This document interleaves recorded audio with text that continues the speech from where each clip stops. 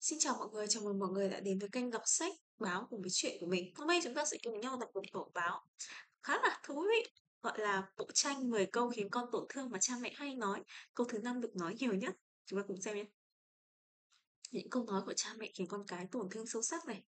Cha mẹ nào cũng mong muốn mang đến cho con mình môi trường phát triển và giáo dục tốt nhất nhưng đôi khi trong quá trình tương tác của con cái, thời đó chúng ta có thể tổn thương chúng này.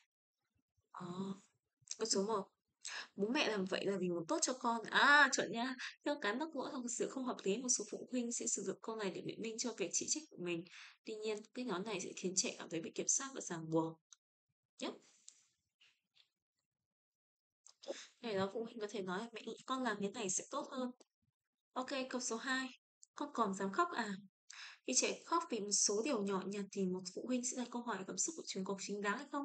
Tuy nhiên, khóc một cách tự nhiên để diễn, giải tỏa cảm xúc của chúng ta không nên tức đi quyền được giải tỏa cảm xúc. Hay vào đây có thể nói là mẹ rất hiểu tâm trạng hiện tại của con. Lúc mẹ làm việc, chồng mẹ chưa hoàn thiện được deadline, mẹ cũng sốt ruột muốn khóc và hãy thông cảm cho con ha. Thứ ba là con có thấy con mình xứng đáng với sự vất vả của bố mẹ nơi con học không? Một số cha mẹ khi trách móc con cái sẽ nhấn mạnh sự hy sinh và cống hiến của bản thân với hy vọng làm cho trẻ cảm thấy tội lỗi xấu hổ nhưng cách nói lại gây ra gánh nặng và áp lực nặng nề cho trẻ.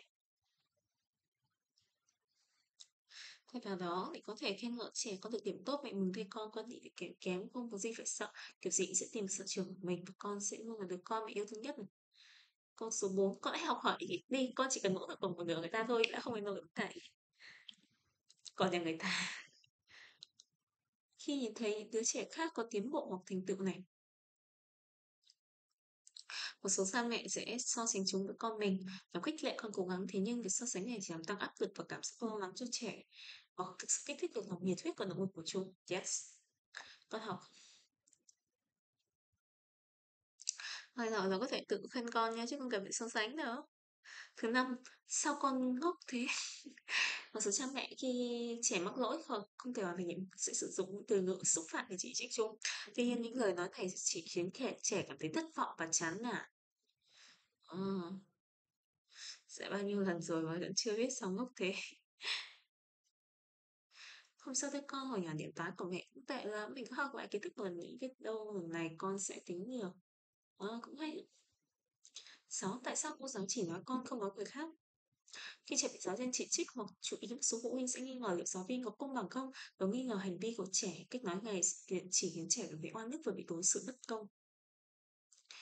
À, thế là nên hỏi trẻ là kiểu có chuyện gì xảy ra trước khi chửi nha con còn thế này bố mẹ sẽ không cần hoặc không yêu con nữa.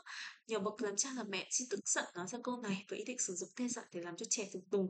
Nên cách nói này sẽ tạo ra nỗi sợ hãi và cảm giác không an toàn cho trẻ khiến chúng nghĩ rằng tình yêu của cha mẹ là có điều kiện và có thể bị rút lại bất cứ lúc nào. Cẩn thận lời nói nha thưa các quý vị. Biết là mẹ lúc nào yêu con nhưng mẹ làm như thế nhưng con làm như thế mẹ không vui đâu. À, về cách được thay thế. Ví dụ thứ hai im miệng hay còn gọi cách là cầm mồm một số cha mẹ sử dụng câu này để nhắc lời con mình khi chúng bày tỏ ý kiến hoặc cảm xúc của mình cách này khiến cho trẻ không có mong muốn chia sẻ tâm sự cùng với mình này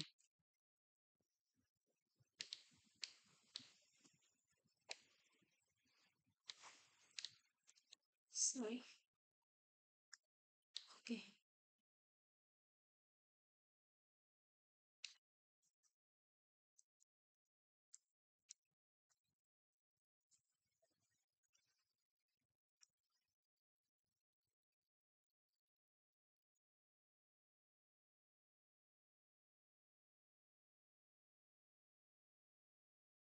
Ờ. Sorry, sorry, đang có một chút kỹ thuật.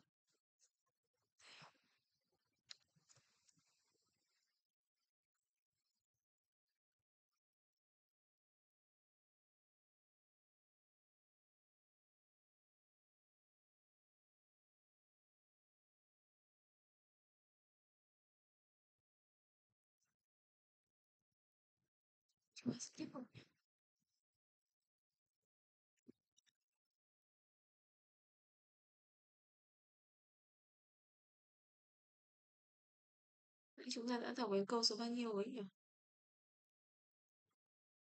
Đừng có là chín là đừng có làm phiền bố mẹ. 10 là chuyện gì chuyện có gì đâu mà cũng hàm bầm lên. à, cẩn thận. ok phải vậy mình đã đọc xong bài báo này rồi nha mọi người. Cảm ơn mọi người đã theo dõi video này của mình. Còn giờ xin chào các bạn. Bye bye.